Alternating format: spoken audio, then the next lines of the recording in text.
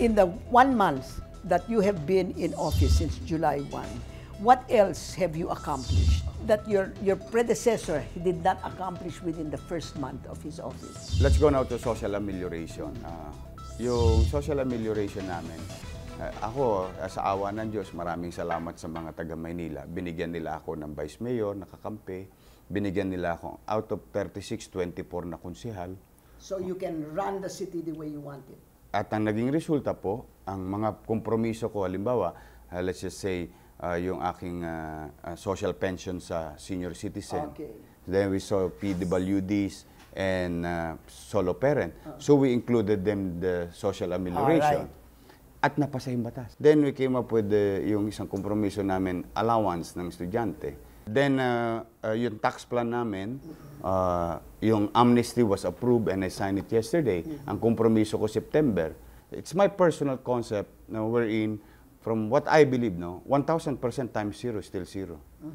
If we are not collecting because people cannot pay because hanggang langit ang halaga ng real property tax sa, sa, sa Maynila. So I would rather get the principal, just pay the principal, tabla na tayo sa interest, surcharges, and penalties. Kanila na yan. Let them pay. How much will that cost? About 1.8 billion. 1.8 billion.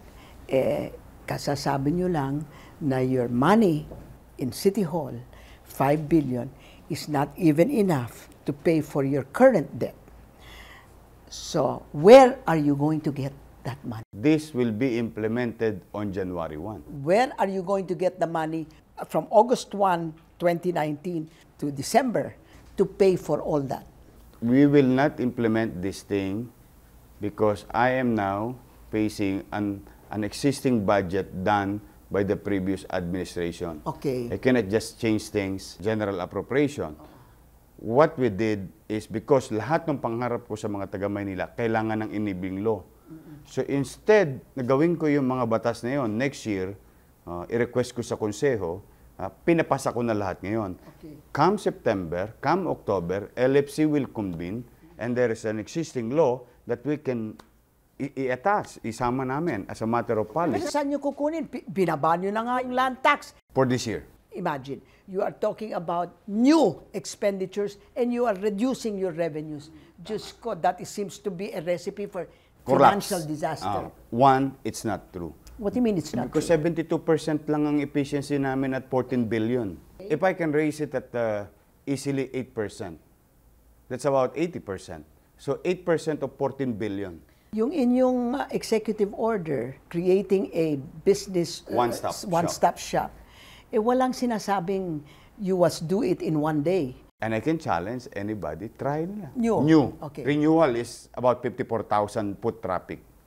I cannot put them in 100 square meter at 54,000 at 5 days a week, 8 hours a day.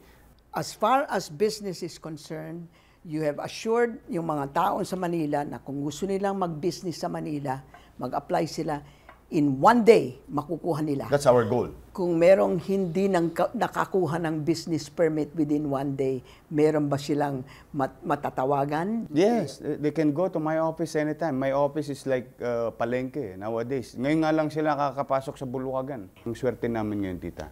Kasi di ba inikayat ko mga netizen, o likat eh, i-messenger nyo kami, report to us, we protect their ano. ano. Tas, Confidentiality. oh, eh, talaga, with, with all honesty, a few people will see it.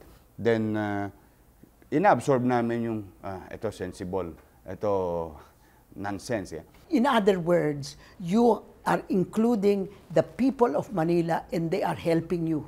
Yes, they Hindi are. ba ganon? Eh, This is tedious portion of governance.